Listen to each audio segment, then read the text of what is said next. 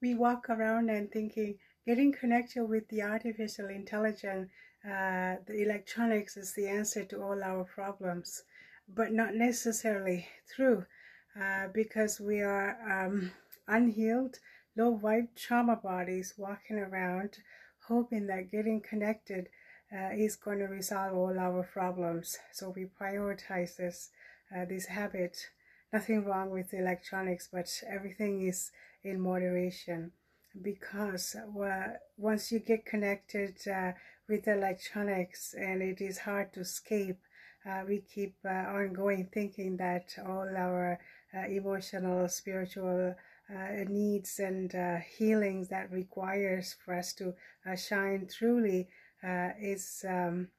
not important but it is a complete state of limbo because you cannot go anywhere from artificial. So therefore, it's important to get these uh, organic uh, uh, karmic issues resolved uh, before you prioritize anything else uh, because it is the most important mission. Once you learn to work with energy, uh, you you're limitless really. So recognize uh, the truth